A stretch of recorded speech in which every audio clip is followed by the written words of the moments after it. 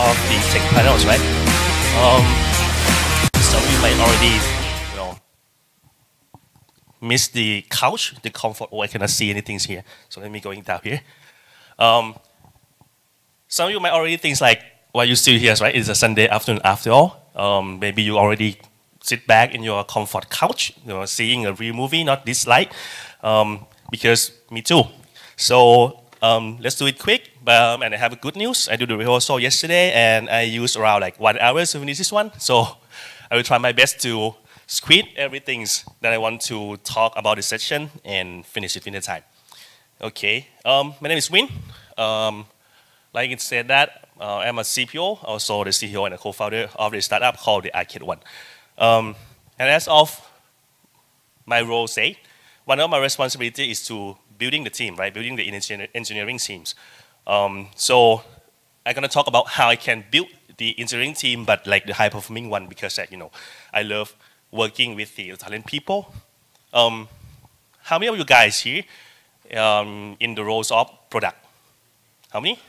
Yeah, I see a few, a few there. So how many of you guys uh, business guy here? One, and the rest of you is a tech one, right? Anyone in tech here? No, not much. So Okay, so this is gonna prove my, I mean, this is gonna be the second talk, the second part of my talk. As you can see, like, um, if, this is, not a, this is not a bad things, but like, um, the difference between the cultures when I'm talking with the, you know, group of Western people, everybody's gonna be like, who, I'm the product guys, who, I'm the technical guys, right?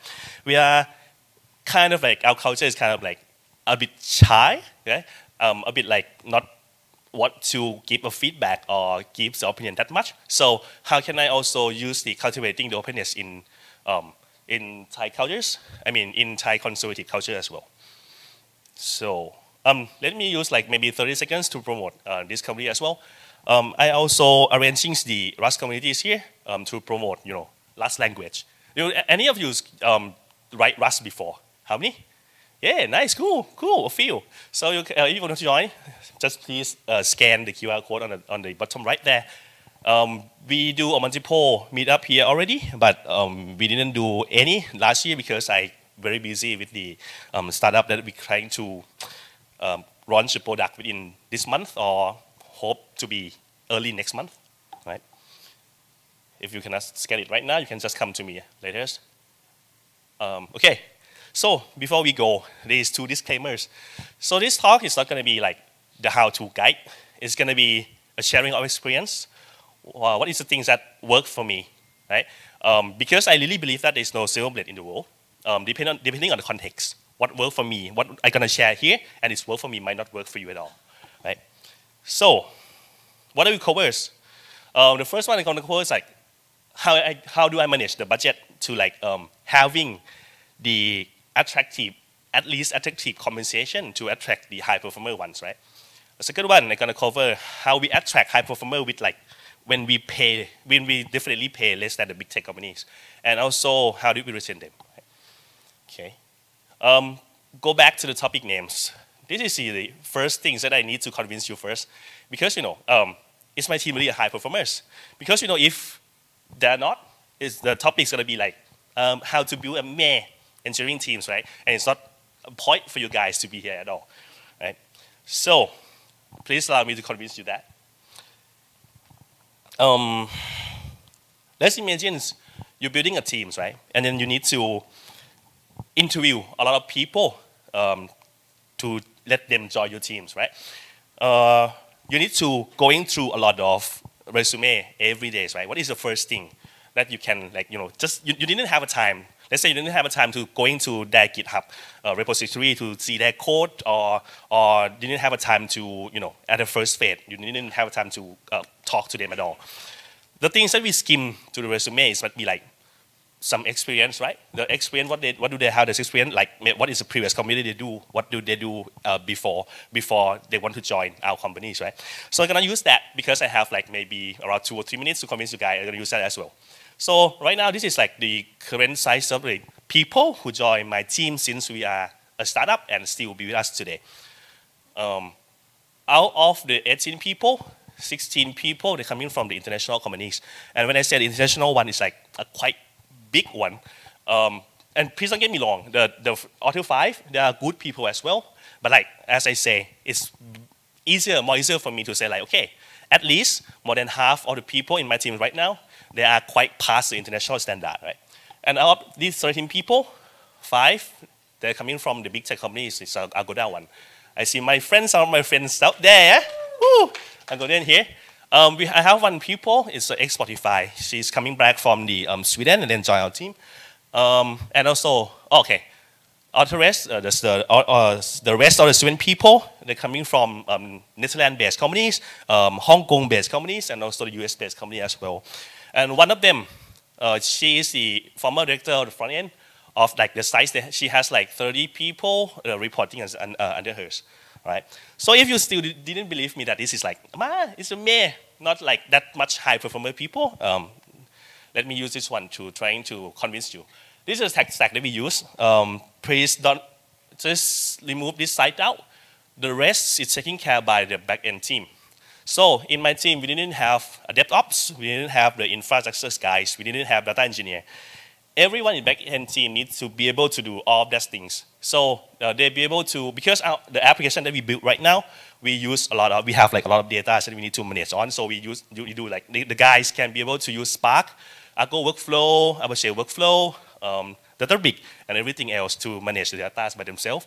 Also, we have like the whole monitoring system here. We follow the open telemetries, right? We have like um, tracing, synchronized logging, metrics measurement, the things you name it. Uh, the whole infrastructure is also we do it using the um, IAC. Um, uh, we use Pulumi, not a terraforming one, uh, not a Terraform one. Um, and the guys also be able to provision and do other things by themselves. Also, we have quite, I can say like maybe quite a good CI/CD because like um, when this guy uh, commit the code, right? Um, our SLAs right now is to be like the code needs to be passed everything's like in the pipeline, pass the testing, um, you know, checking, depending on everything. Within 15 minutes, it needs to be in the production automatically without the touching of the human touching, right? So all of this, how many people do we use to take care of all of this, including the business logic that you need to um, you know, working on every day as well. We use six people, and everyone can do everything here because we you know, you know um, we do the ex, um, you know pair programming a lot. So we trying to make make people you know, some people when they join us, some people like have expertise on DevOps. Um, some people may like like have expertise on like um, infrastructure. So we pair pairing them and then sharing the knowledge within the team. So right now, these six people can do everything that I just told you guys. Um, if, and if you still don't believe me, uh, please believe me. Because, you know, if you don't believe me, there is no point uh, that, you, that you're going to uh, sit here and then listen to my talk after this, right? So, I suppose you guys already believe me, right? Then, coming, um, coming to the next, the next session is that, how can I attract and keep this brilliant mind? Right? The first things is very important one, the compensation. Sorry.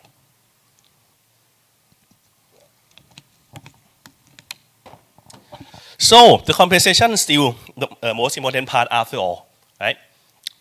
Because the salary needs to be somewhat competitive. Um, and yeah, you can do it, uh, even with a limited budget, right? I want to, I want you guys to focus here. I said like, at the first, I said like, uh, I use the word compensation, right? But here, I, I, I use the word salary instead.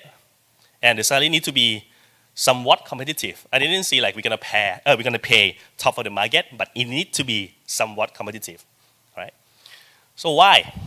Um, I'm lucky enough to um, know a lot of great people, a lot of you know talent, talented here. Um, and I asked him, I asked this guy the question like, let's say if there is like two companies, the first one gonna offer you like hundred thousand baht per month with the guarantee bonus for like three months. And the B company is going to offer you like 130,000 baht per month without bonus at, at all. Which, which one are you going to use? Uh, which one are you going to choose? Um, from my own experience, like almost 100% is going to choose the second one. Uh, that because like you know people want to catch you know um, um, bonus even though you guarantee the bonus is going to come like later in the years. Um, people care about bonus, but people care more um, about the salaries. That's in at least in my experience. So um, we obviously pay less than the big tech companies, right? I mean, with a startup budget, because we pay less than the, uh, the, the tech, big tech company, our welfare is not that good. Um, like, in Agoda, we have the things called um, wellness budget, I think. When I left the company, they, they give us like 24,000 baht per year. Uh, in my current company, we have that as well, but like a lot less, like 10,000 baht per year. But, it's, but, but our welfare is cover like um, the basic one that people need, like um, the healthcare, right? the insurance, um, the budget that they can use to spend to going to the conference like this or buying the book or something like that. But it's far from competitive when you compare to the big tech one. Um, also, we pay no bonus at all. And all of these things, it make us have like a larger budget for the salaries because no bonus and just okay welfare, right? So we focus every budget, squeeze everything to use for the salary one. And also, here, let's say if you give, if you give me, um, if I have a budget for a burning rate for like, let's say 1 million baht per month, so instead of having the below team, the Kulin, Kulin is a nice one, right? I think you guys, maybe some of you guys see the Gunbon, right? Kulin is kind of like the strongest human on earth, but you know the, the above one is just like a godlike one, right? So I, I so I'm gonna build a small team for the people like up above, maybe except Piccolo one because you know this guy is much better. Um, like back to the budgets, right? We have like a, a, one million baht budget. Instead of having like maybe 20 people, paying them like 50,000 baht per month, I'm gonna very very happy to build a team with five people. Each of them got like 200,000 baht per month instead. Why? Yeah, this is why. Because you know, it's the difference between like a great software engineer and not so good software engineer. It's a lot. Like this engineer said, right? Um, it takes one programmer to blah, blah, blah, blah, blah. We didn't have a time, so I think you guys might already see this one. Um, and also, the great people, we attract other great people to join the team. You know, when, when I build a team, it's not, not everyone it's the one at like going out and then invite to join uh, the companies or or they didn't just know the companies um, from the JobsDB or LinkedIn or something like that. It's just like the invitation from the talent as well. And you know when, when talent see other talents working for some companies, they're gonna be curious like, oh, there's something might be something there that make these great people to working there, right? So it's automatically in, um, attract people to join uh, to join the, to join the business. And for me, for me, you know, this gonna this gonna create a billion workplace as well. You know, uh, imagine yourself wake up every day and then you know that today you're gonna learn some things from your college, from your peer, right? Because you know everyone is just like super great, right? And also, let's say when you have like some things that you need to do, you know that when you get, give these things to the guys just beside you, you know that the, the, he or she gonna come back with a great result because they are brilliant, right? Okay. Other things, the other things that, uh, about the compensation um, that we use these kind of things to retain the people to see working with us. Um, let me not go into detail much, but like um, the whole the whole idea is that, let's say, if someone just like um, this guy is in Magikarp, right? It's like it's just a small small Pokemon, small animal in Pokemon is not good at all. If this guy, when when they're joining, there's like um, Magikarp, they, they didn't great at all, and they get the salary of like the salary that deserve for the Magikarp. Let's say next year, they, he just like he or she just like evolve to be a Gyarados. I see a lot of companies doing doing these things called the salary band, right? So this guy, even though like he like super great from the next year, he gonna get like 10% plus salary from what he get when he still a Magikarp. So we didn't do that here. If anyone in our team just evolve to be like uh, a Gyarados, he gonna he or she gonna get the salary which deserve for the Gyarados, right? Back to this one. We obviously, even though all of this one, we squeeze everything, every every penny to be able to pay the salary to be somewhat competitive. Still, we still pay less, less than, way less than, not, not that much less than the big tech company, but less than the tech company. Um, this is the, uh, an example. Um, we have one guys, we have one, one girl, actually the girl that like, um, the former director front end here, Uh, when she joins my team, I need to ask her to lower down her salary like 11% from from what she get because like her salary is pretty high. So but we, we didn't have that much, that much budget. Um, and she okay and she joined, our team and still be with us until now. Also we have one guys. Um, this is like one of the best engineer that I have. He's coming from Agoda and at that time we I offers the same salary that he got right right there when when he's still working at Agoda and then they counter the offers, right? They're seeing like um, um, 60% or something, uh, which is like obviously cannot match that, right? And he rejected the Agoda offers and then joined us instead. So how? How we can attract these people? Is coming to the second one. This is what we do. We do cultivate the culture of the openness, right? Why? Because we want to create a workplace that everyone eager to be a part of every day. And, and we just believe that and we just see that to be to make the, the place like stand out by cultivating the openness can make these things happen. So what does openness mean? I still have time. Um, this is the definition from the Oxford Dictionary, right? It's mean like to being honest, right? Being accept or listen to different ideas and not being limited or restricted, right? So the first one, there's like four pillars of the openness that we do. The first one is freedom. So, why freedom? Sorry.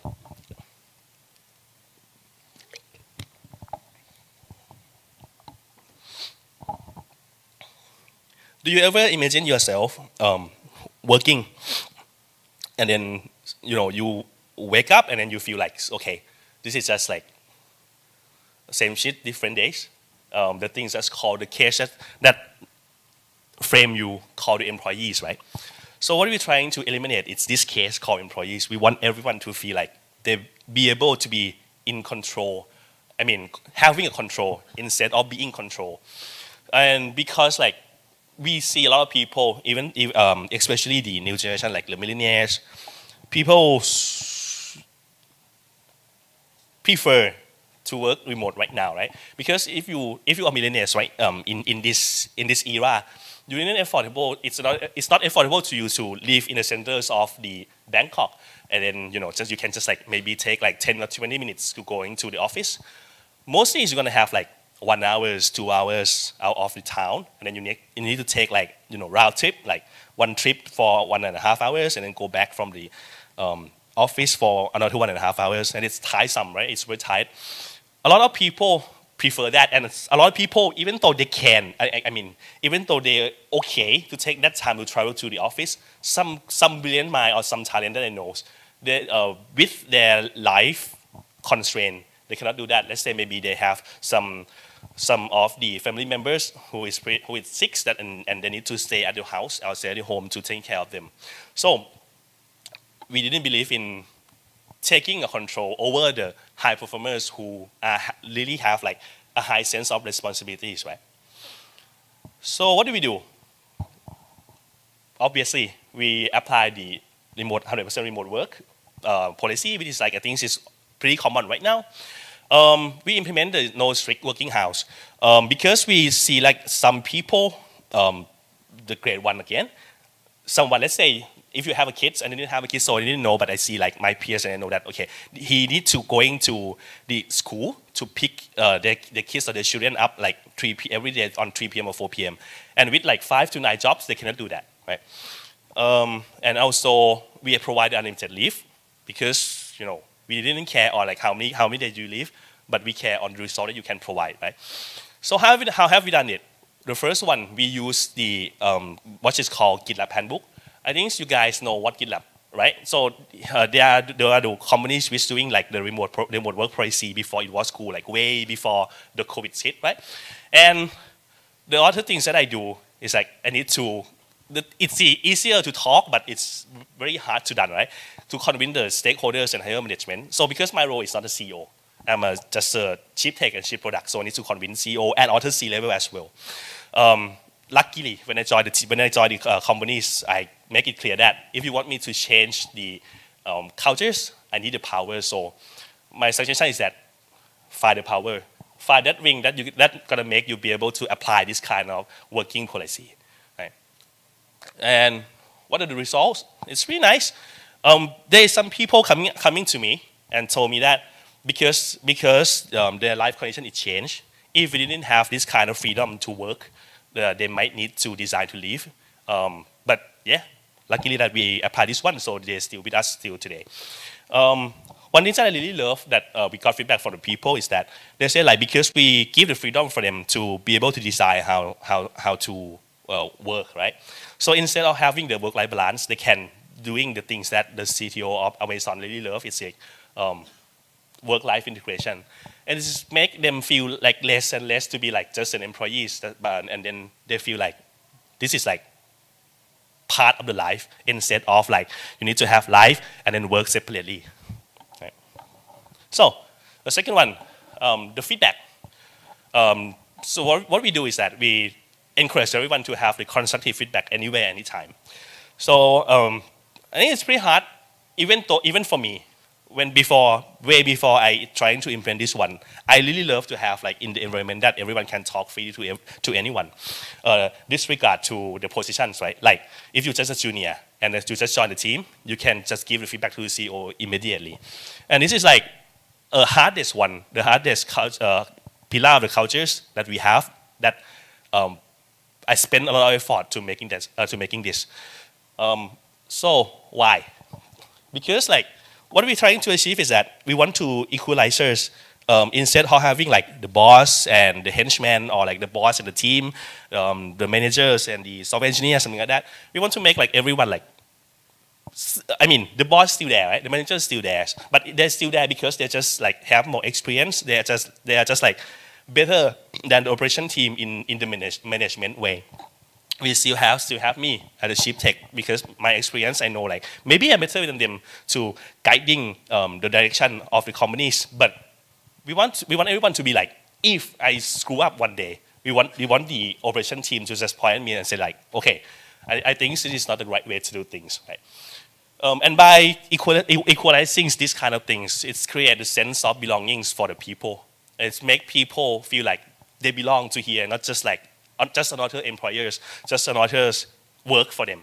Right? Um, other, other reason that we believe is that in the culture that rich in the constructive feedback, right? naturally, like um, I see in the, a lot of traditional companies, a lot of time, when some problem happen, people don't want to say about it. People don't want to give feedback about it because they don't want any trouble, right? But in the contrast, in the um, culture which like everyone confident or is a safe place for them to speak up. The problem that happen is bubble up pretty quickly, and you can address it pretty quick, right? Because you didn't you didn't need to hide it anymore. Everyone want to talk about it later than just you know um, didn't notice that it's there at all, right? Okay, the hard part. So what do we do and how have we done it? Right? First thing first, I'm um, I make it clear because we want to I believe this. I believe like this. If you want to, if you want to create some kind of cultures, um, you need to gather the people who think the same as you, right? So I make it clear since for everyone who gonna join the team that to give a feedback, to give a constructive feedback anywhere, anytime, it's not a responsibility. It's not just, I'm sorry, I mean, it's a responsibility. We expect this from you. It's not just a plus, it's just a good things to do, but this is like your job to, to do that. Um, so we can cutting out any people who maybe didn't feel like um, you know confident or didn't feel like comfortable to give feedback before they even joined the team. Luckily, we didn't have anyone reject our offer because of that yet. Um, we surprisingly we found out that actually, again, especially the millennial uh, Thai people, the young generation, they want to speak up, but they didn't have like a safe place or safe environment that they can do it. Right? Um, second one, what we do, we encourage constructive feedback in any situation at any time.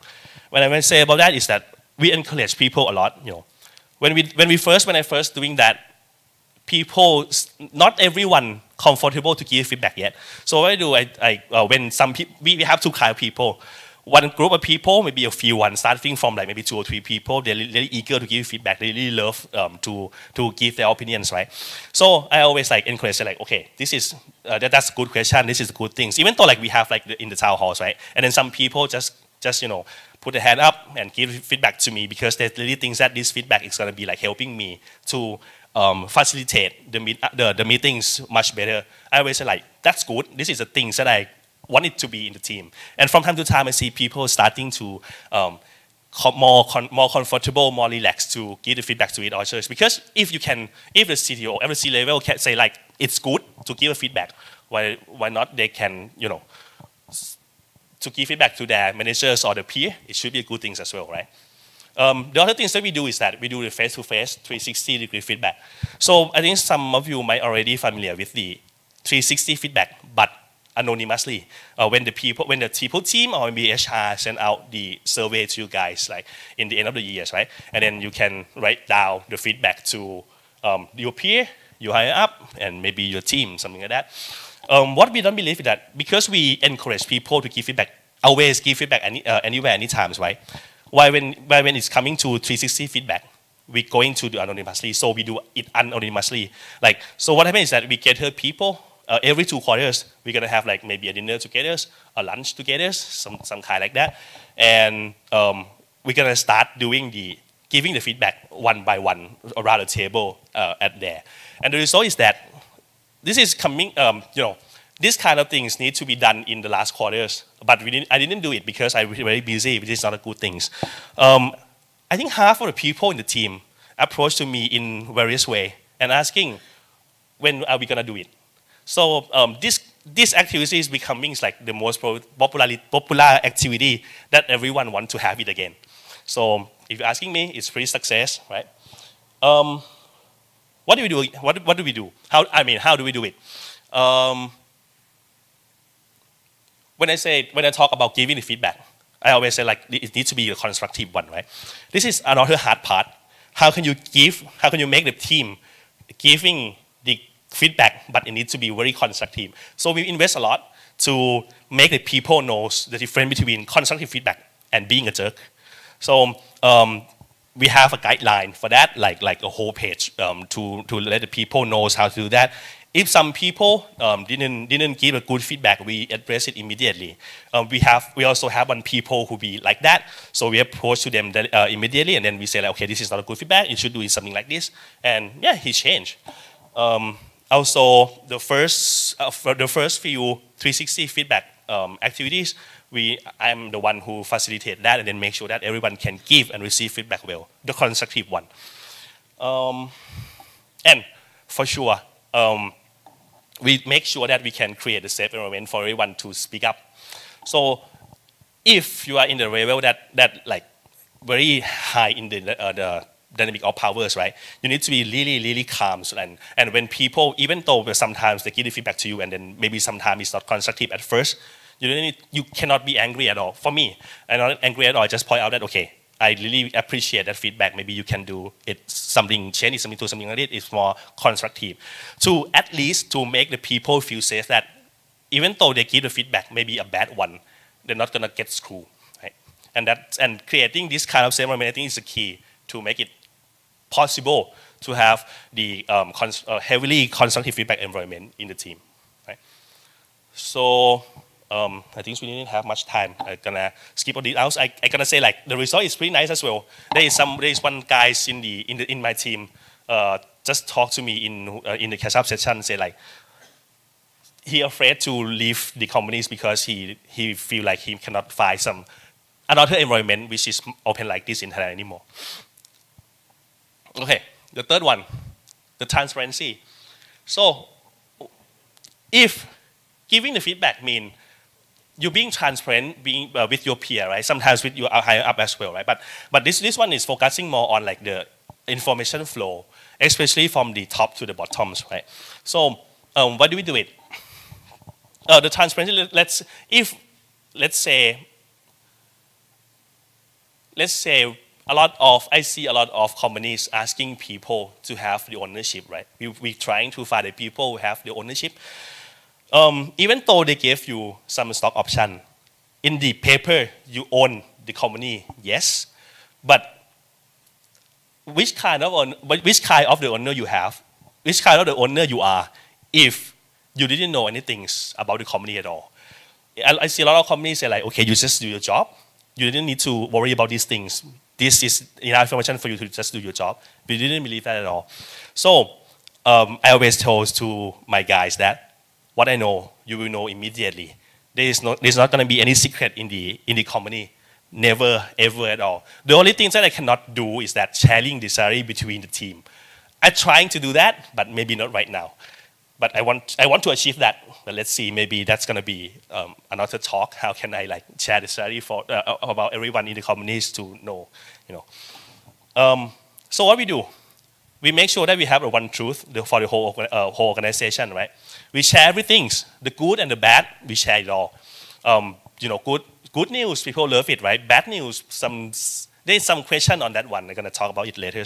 Um, and I always keep the team informed and up to date because, you know, if we didn't, if we share, even though we share every information, but if like it's happened like three months ago, it's not, it's not important at all. It's not valuable, right?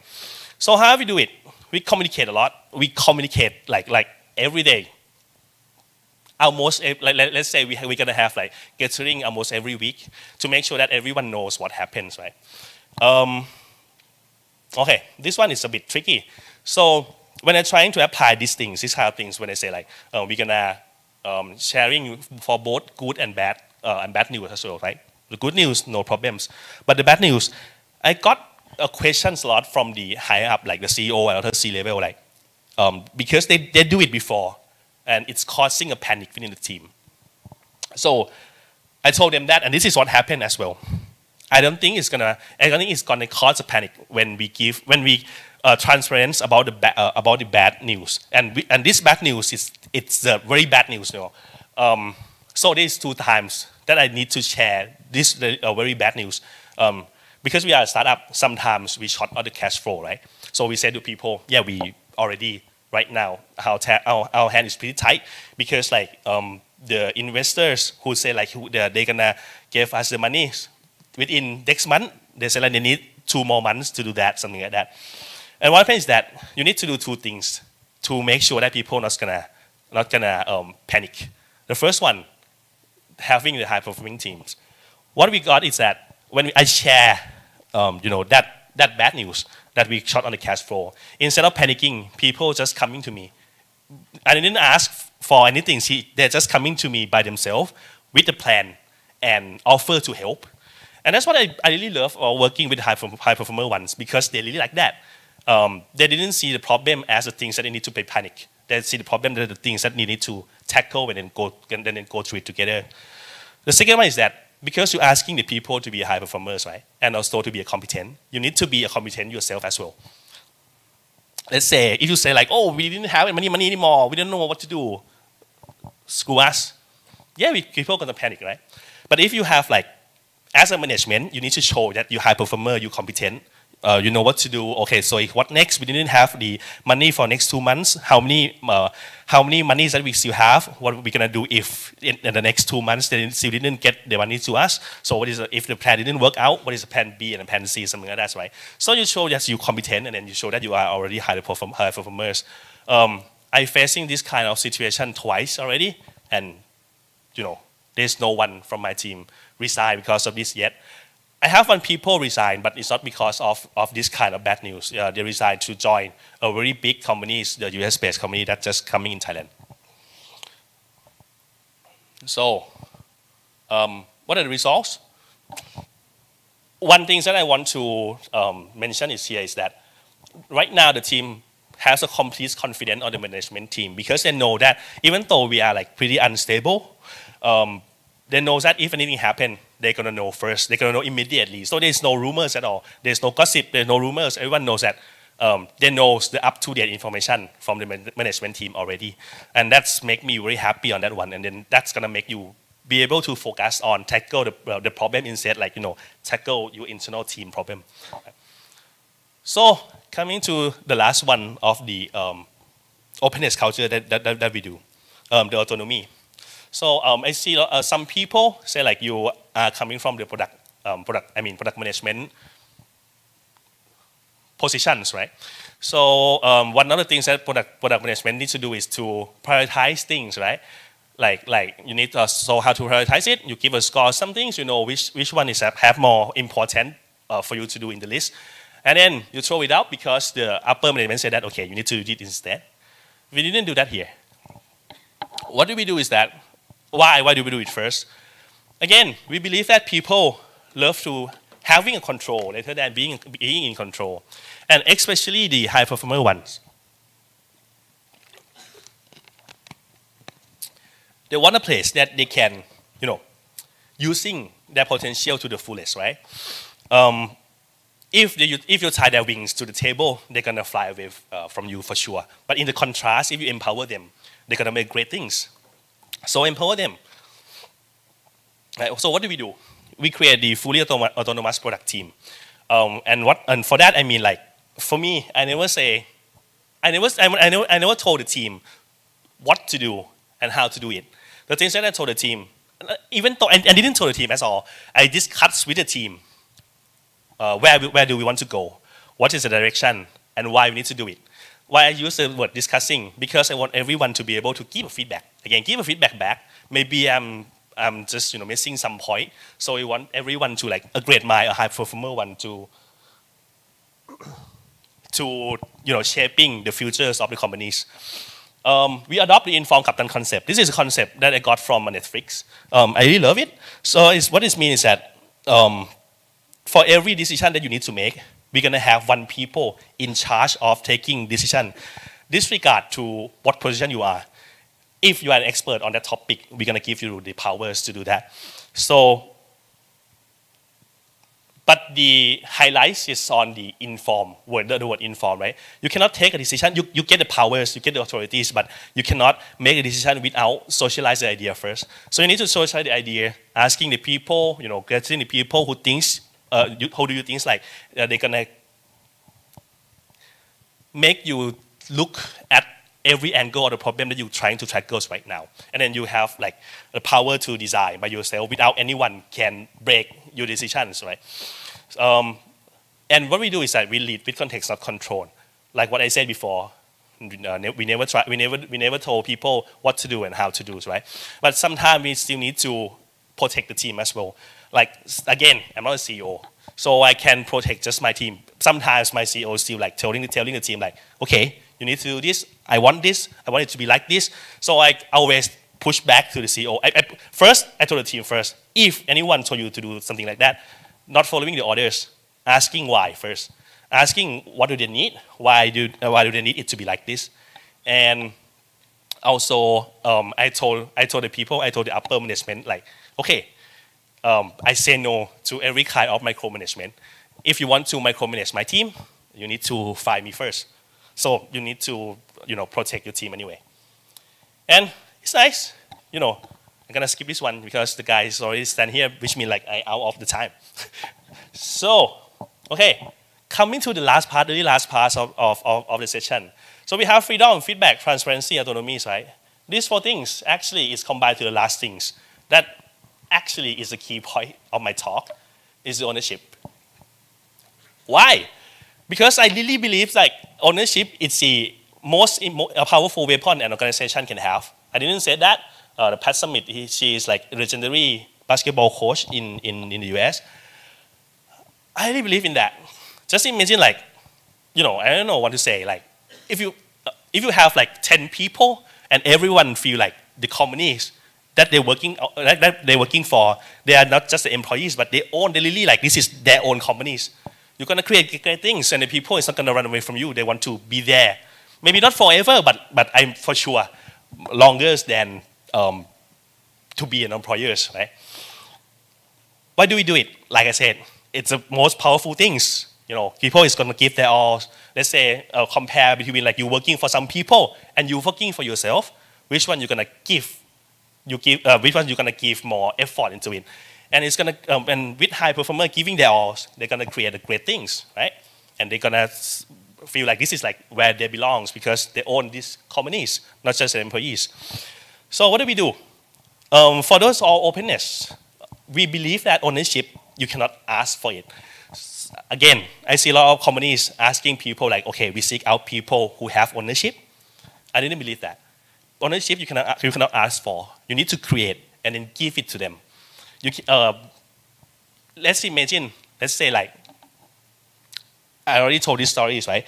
Um, that even though you give the stocks to them, you, they own the companies just in the paper, but they didn't know anything. They're not going to really own, have the sense of ownership within them. So how have we done it? With the freedom, with the feedback, with the transparency, with the autonomy, freedom, we're trying to eliminate the cash called uh, the role of the employees, right? Make them do not feel like the employee anymore, but they are one of the owners of the company. So feedback equalizing everyone. So everyone, there is no, no, there is no boss anymore. You can just like give the feedback to anyone. You can speak freely to everyone, right? Create a sense of belongings. Transparency. So the flow information, what CEO knows, you know as well. So you know as same as what CEO knows. Autonomy. So you have like the impact. You, I mean, your effort have really impact on the success of the companies, right? And the last one, this is the last thing that we do. We focus on the four, uh, four, four things first. The last thing is that we make them have the ownership in the paper as well. So, we, so what we believe is that everyone in the team should have a stock option, not just the leadership, but everyone. Um, what are the results? It's really nice. It's really great. I think actually I can build the whole, the whole team or the high performer because of this thing, the ownership. So the openness is going to create a comfortable and pleasant workplace, right? And also it's going to create ownership, which is going to create the rest.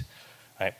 So I'm gonna skip this part because I run out of time. But like, um, let let me let's see this quote for the last part of the session. This is a quote from the Steve Jobs, right? He said like a small team of A players can run circle around a giant team of B and C players anywhere, anytime. And yes, we can do that with the startup budget as well.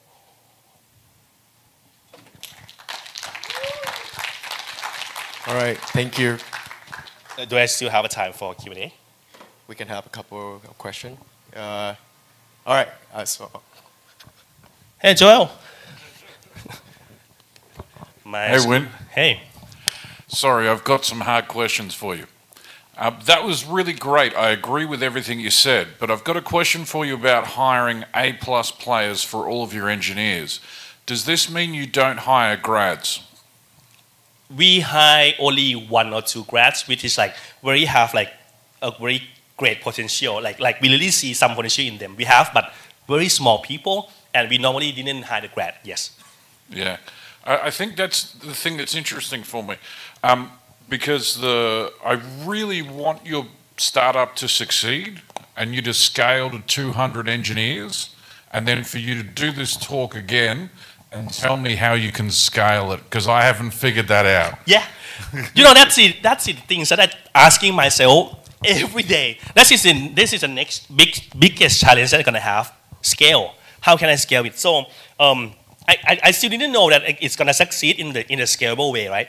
But the things that I ensure that, I really, I really, I really believe that to be able to scale, it's not guaranteed that it's going to succeed. But if you want to scale, you need to have like a very concrete foundation.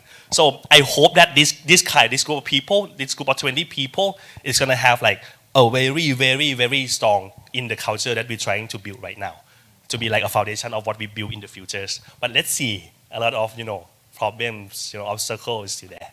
But that's a very good question. And I also, I also have a question, and uh, that is in the case when you uh, when you have a team already established with, uh, let's say, B or C players, and how to make this team over time, right, with hiring new people and etc., and become uh, A players uh, in the future? And would you fire everyone in the beginning, start from again, and do this transition um, in small pieces? Uh, what, what can you suggest in this context? What is the uh, second question again? Sorry. So the, the question is, uh, when you start with a team, right, of uh, high performers, mm -hmm. is one thing. But when you have a team of uh, normal performers or mediocre performers, and you want to start adding uh, top performers on the on the mix. Okay, so um, first I start with the we have, we have um, it's a bit complicated because you know the, my startup is like separate from the uh, the companies that I joined. I, I, when I first joined, the, the, there is like the matters companies. What uh, my job is to transform the whole cultures from the very traditional one to a modern one, and then I separate. I creating uh, new products. So so so uh, because like uh, these companies. Um, uh, their main business is to be like a consultant and software house. They're creating the um, um, investment app for a big a big bank here, like SCB, K Bank. It's also our client.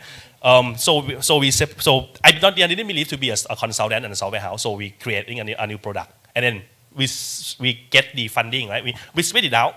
We get the funding to become a startup. So yes, we have some people from the um, from the matters companies, but we didn't invite everyone. We invite just some people, and most of them are very A plus players. Some people I just like I asking them why do you still here because they like obviously can join Agoda anytime. Like they are really really really great. So um, I'm lucky enough to have them in the team. But yes, we have we also have some average people in the team. So what so what I do is that um, when we hiring a new people, I always telling um, the, the, the team lead, um, always hire the people who is like if you if you ranking everyone in your team, you need to make sure that this guy is better than 50% of the team to make the people, you know, getting better. Um, other things that, that, I, that I ensure is that I want everyone in the team to be like, um, like learning animals. So uh, there is one thing, there is one thing. I do the last session communities, right? Um, if you see the tech stack that I have, the main language that I use in, in, in the production for the backend is Rust. Um, and I do that because it's not because like our system needs to be like overly fast or very efficient. No, not at all. We can use Go. We can use even Kotlin or Scala, right? But I choose Rust because I know that Rust it's have like very very steep learning curve. So it's like it's like showing the people who want to join the team like, okay, do you want to jump into this kind of you know journey to learning like one of the most like hardest language on earth? I don't know, but it's very hard. Um, and if yes, I found out that the people who join the team is very like learning animals. And then when, when with the group of the high performers, it's making people, making everyone, you know, getting better every day. I, I really see that. And with also the pair programming one, we do the pair programming one, and then the, the, the knowledge within the team is sharing a lot. So um, not just attracting A players, or not just retaining A players, we trying make the A player getting better. Also, we have some B player as well, B plus player as well. So we want them to be better and better uh, by this kind of process. Hope All that right. answer your question. All right, so since we are really out of time, so I would like to thank you. Uh, you are the exact speaker that we need to close this. So I think people would need uh, want to talk to you more. Okay, So, sure. Yeah, uh, please feel free to come yeah, to but uh, we have some guests that need to move to the other locations.